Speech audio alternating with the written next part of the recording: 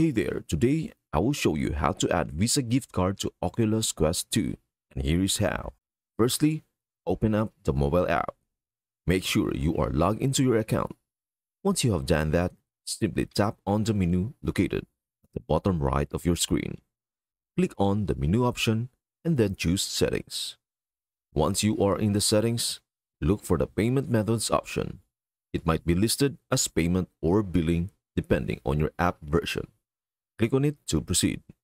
Now, you are in the Payment Methods section. To add your Visa gift card, locate and select the Add Credit or Debit Card option.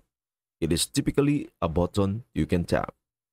Here, you will need to input the details of your Visa gift card.